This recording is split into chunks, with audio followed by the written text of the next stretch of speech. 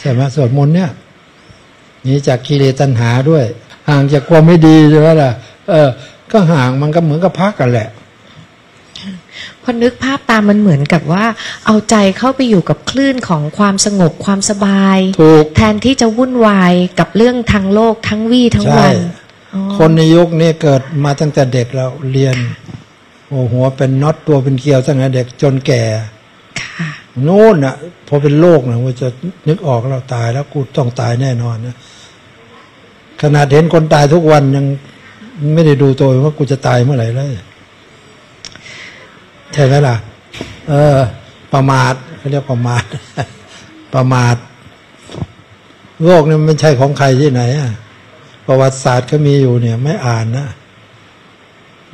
ถึงอ่านไม่ได้กับฝึกดิฝึกให้เข้าใจอะ ตัวเองเกิดมายังไง